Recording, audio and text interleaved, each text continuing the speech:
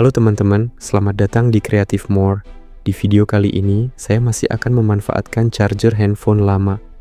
Kalau sebelumnya saya sudah menggunakan casing dari charger bekas, kalau kalian ingin melihat video tersebut, linknya akan saya sematkan di deskripsi video ini. Sekarang, saya akan memanfaatkan bagian mesinnya untuk dijadikan alat yang sangat berguna untuk kebutuhan sehari-hari di rumah. Oke, tanpa berlama-lama lagi, mari kita simak bersama dan langsung praktek. Let's go! Pertama-tama, kita harus memastikan bahwa charger ini masih berfungsi dengan normal. Caranya, siapkan kabel USB, sebuah multitester, dan yang paling penting adalah stop kontak. Setelah semua perlengkapan siap, sekarang kita akan menguji charger handphone ini. Pastikan stop kontak sudah terhubung dengan listrik. Sekarang kita akan melakukan pengujian. Hubungkan kabel merah dari charger ke probe merah pada multitester dan kabel putih ke probe hitam. Perhatikan, pada layar multitester terlihat voltase sebesar 5,76 volt. Nilai ini masih dalam batas toleransi, jadi meskipun sedikit lebih tinggi tetap tidak masalah ya teman-teman. Oke, sekarang kita akan fokus ke mesin chargernya. Singkirkan dulu multitester, stop kontak, dan juga kabel USB.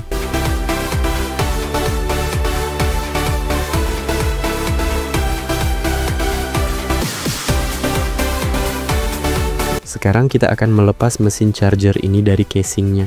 Tarik perlahan dan mesinnya akan terlepas.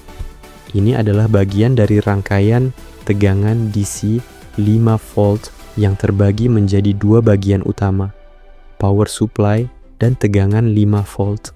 Tegangan ini dihasilkan oleh trafo kecil yang masih membawa arus AC, kemudian diubah menjadi DC oleh dioda 1N4007. Kapasitor berfungsi menyimpan dan menyeimbangkan tegangan agar tetap stabil. Selain itu, port USB berfungsi sebagai output untuk menyalurkan 5 volt ke perangkat dan LED menunjukkan bahwa charger sedang aktif. Ini adalah bagian belakang charger.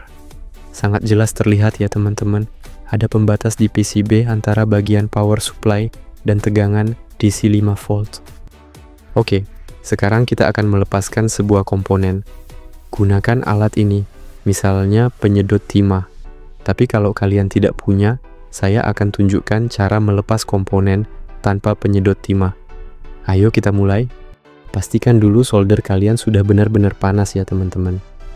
Untuk melepas komponen dari PCB tanpa penyedot timah, panaskan bagian yang ingin dilepas dengan solder seperti yang saya contohkan di sini, sambil menekan kaki pada dioda Zener. Setelah itu, komponen bisa dicungkil menggunakan obeng atau alat lain yang bisa digunakan untuk mencungkil ya teman-teman. Untuk lebih mudah, gunakan pinset jika kalian memilikinya. Nah, dioda Zener sudah berhasil dilepas. Selanjutnya, solder lubang pada PCB agar tidak rapat, sehingga nanti akan lebih mudah memasukkan kembali komponen yang ingin dipasang. Bagian PCB ini sedikit terkelupas, tapi tidak masalah. Masih bisa dihubungkan dengan baik ya teman-teman. Oke, lanjut. Ini adalah dioda Zener 5 volt ya teman-teman. Saya akan mengganti dioda ini dengan nilai yang lebih tinggi, yaitu 14 volt, agar voltase yang dihasilkan menjadi lebih tinggi dan stabil. Untuk mengukur dioda Zener, saya sudah pernah membahasnya sebelumnya. Nanti saya akan sertakan linknya di deskripsi video ini. Dioda Zener 14 volt yang saya gunakan ini, saya dapatkan dari PCB TV bekas yang sudah rusak ya teman-teman. Oke, ayo kita pasang dioda ini. Ikuti langkah-langkahnya dengan seksama ya teman-teman. Perhatikan cara pemasangannya agar tidak salah. Jika terbalik, arus tidak akan mengalir melalui dioda Zener. Coba perhatikan dioda Zener yang saya tunjuk ini. Lihat, ada pita berwarna hitam di salah satu ujungnya.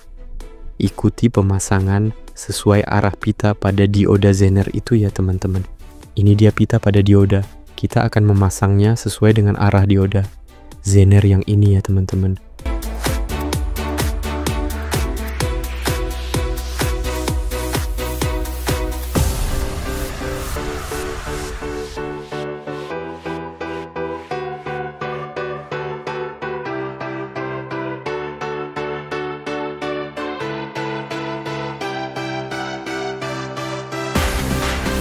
Oke, seperti ini ya teman-teman. Selanjutnya kita akan menyolder di bagian belakang PCB pada dioda Zener ini.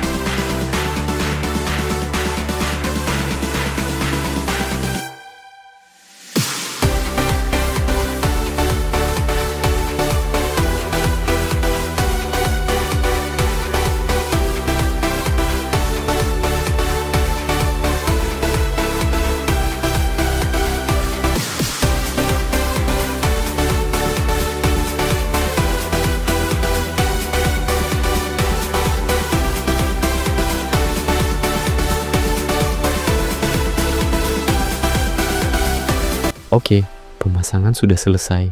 Selanjutnya, kita akan memasangnya kembali ke casing, lalu mengukur menggunakan multitester dan memberi beban dengan lampu LED 12 volt. Oh iya, di sini saya tidak akan mengganti kapasitor bawaan charger karena saya ingin melihat apakah kuat atau tidak dan tegangan tetap stabil atau tidak tanpa mengganti kapasitor. Tapi saya sarankan lebih baik ganti kapasitor dengan ukuran 470 mikrofarad 16 volt ya teman-teman. Oke langsung kita pasang penutup casingnya.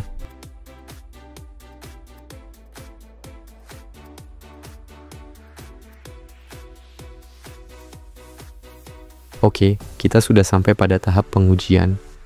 Siapkan stop kontak, multitester, kabel USB, dan terakhir lampu LED 12 volt untuk menguji apakah tegangan stabil atau malah turun, drop atau tidak.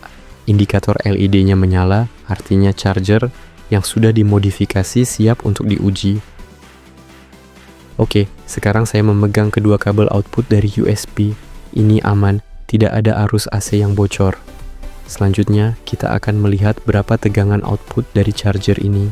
Coba lihat layar multitester dan ikuti langkah-langkahnya ya teman-teman seperti yang saya contohkan di sini. Nah, terlihat kan?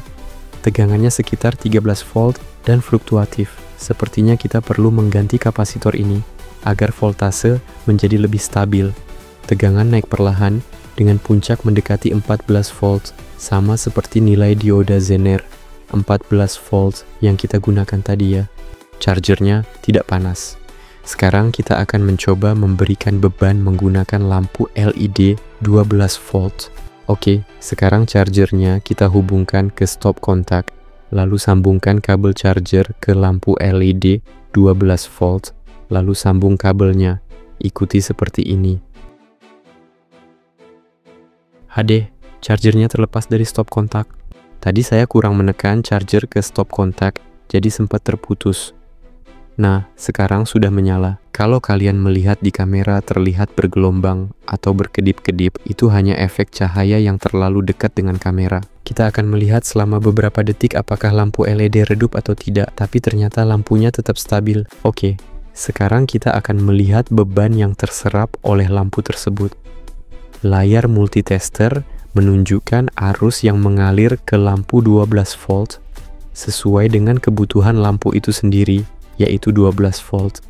Jangan pakai charger 1 ampere ini untuk mengisi aki motor ya. Coba gunakan charger 2 ampere. Mungkin bisa, cobalah bereksperimen. Tapi tetap hati-hati ya teman-teman. Oke, jadi seperti inilah praktik kita kali ini ya teman-teman. Apabila video ini bermanfaat, jangan lupa tekan tombol like dan subscribe. Sampai jumpa di video berikutnya.